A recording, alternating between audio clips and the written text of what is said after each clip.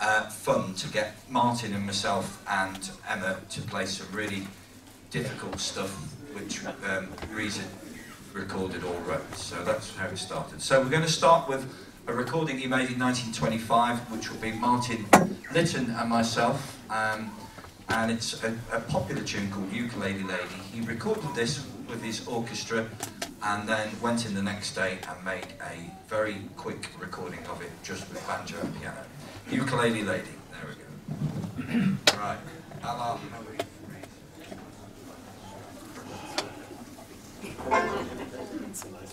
Mm-hmm. Just not playing the ukulele.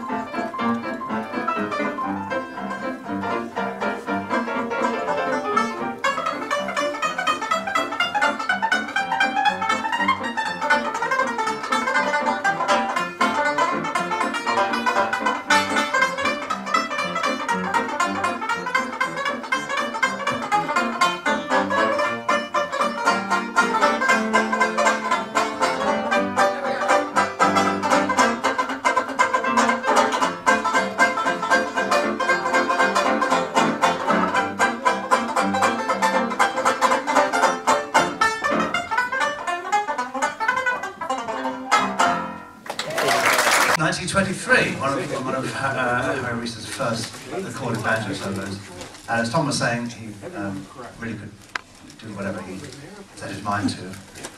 Um, he played tenor banjo, more famous for playing tenor banjo, as Tom was playing there.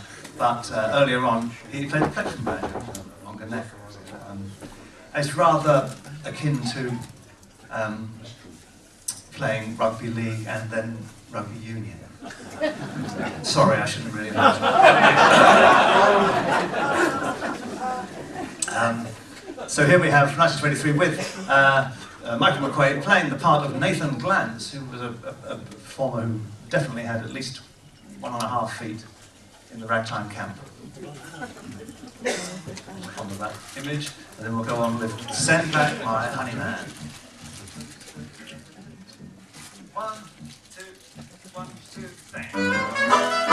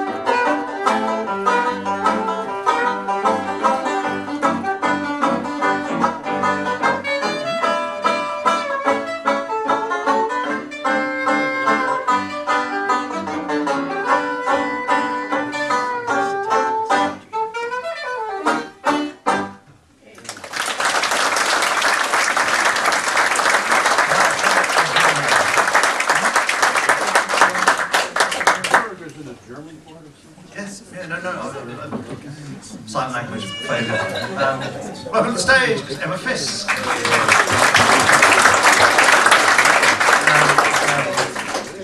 When Keith proposed this, uh, this set, um, he obviously knew his audience and thought they'd go around to jazz clubs around the country and they hear the same old Harry Reser numbers week in, week out.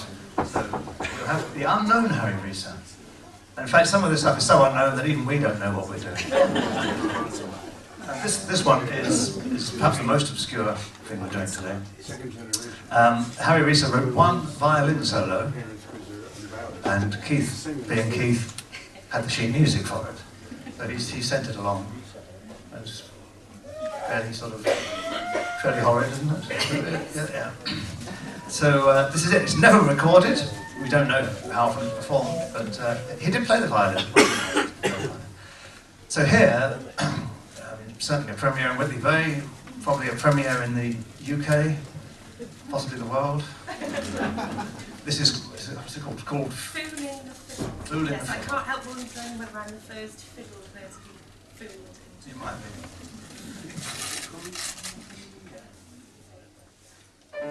be.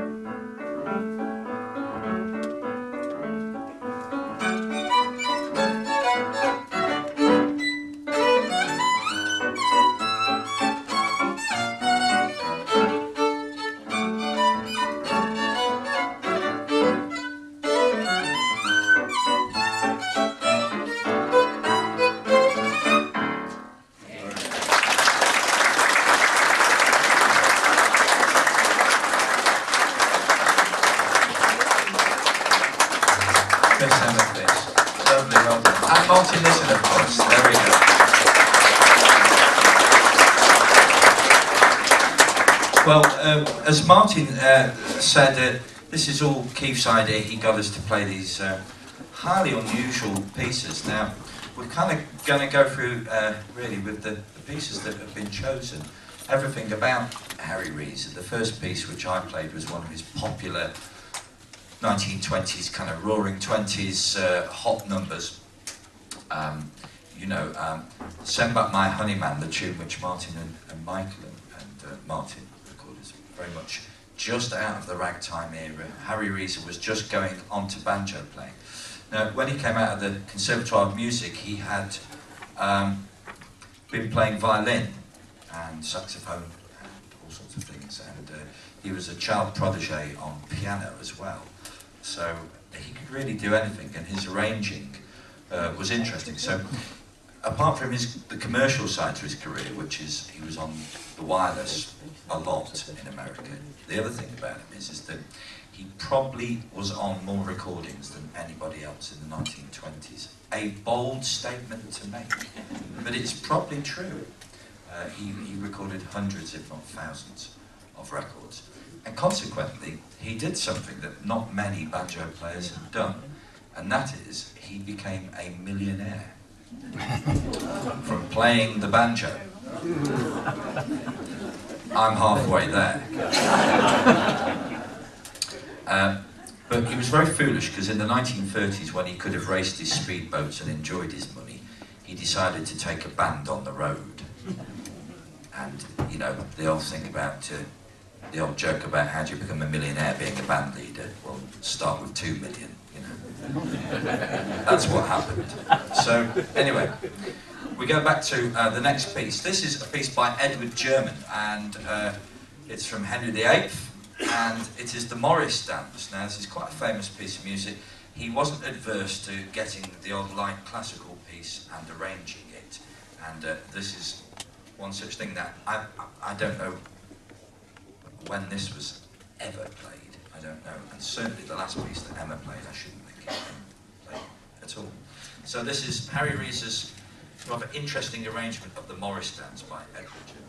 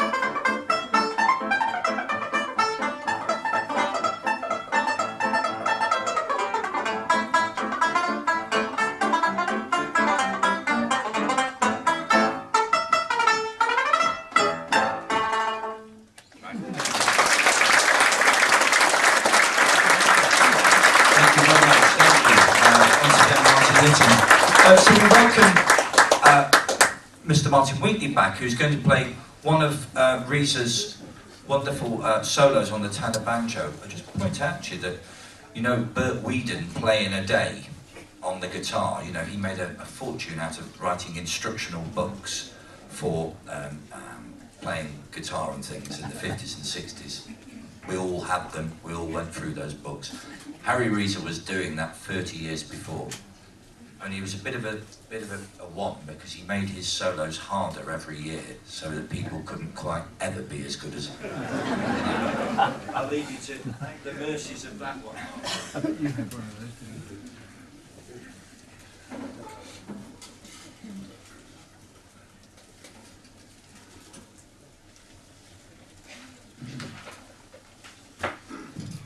Okay, this is the clock and the banjo. Um, according to the sheet music, it's the last word in novelty banjo solos. I'm prepared to take that at face value.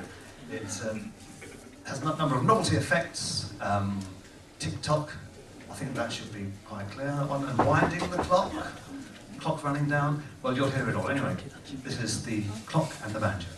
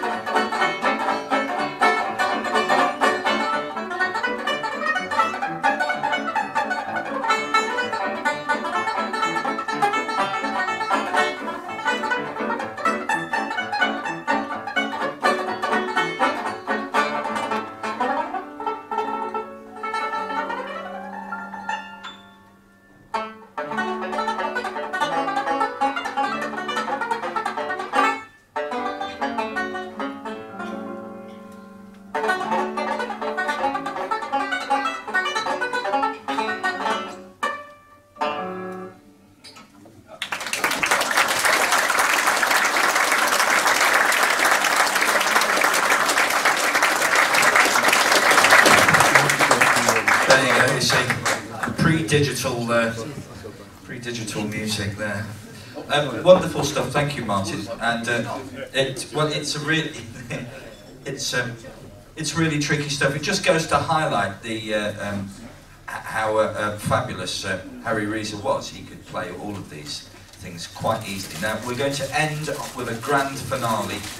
We have the Whitley Bay Clicquot Club Eskimo Orchestra. Uh, the reason I'm saying that is because Harry Reser, he got a wireless program, okay, and he was sponsored by the Clicquot Soda Company, and consequently he called his band the Clicquot Club Eskimos. They came on stage with Eskimo outfits. Um, there is uh, uh, some wonderful photos of them in the Eskimo outfits. Unfortunately, uh, we didn't have time to get the outfits out, although there was strong opposition from some parties. Um, and so, you know, a couple of nights a week they went on, uh, they went on the radio, and they would broadcast this uh, stuff. And Clicquot was the signature tune of, of, of the radio program and the Eskimo band. Um, I will just point out that Harry Reser called a lot of his solos interesting names. Frosted chocolate, ginger snaps, lollipops. And if you're wondering why he called them these funny names, they were soda drinks made by the Clicquot Club, well, the Clicquot Company. So he was a very good company man who was endorsing all of his company's products by writing songs about their products. So we leave you with this. This has been arranged uh, by Martin. We have Jacob, uh, Nick, we have Josh, we have uh, someone on sousaphone, and uh, we have Mr. Martin Litton. Okay, Mr. Malcolm Sked on sousaphone. Uh, we have uh, Miss Emma Fisk, and we have Jacob as well. So we'll get to the melody banjo, the second banjo, and I have reached the heights that I've always been aiming for, third banjo.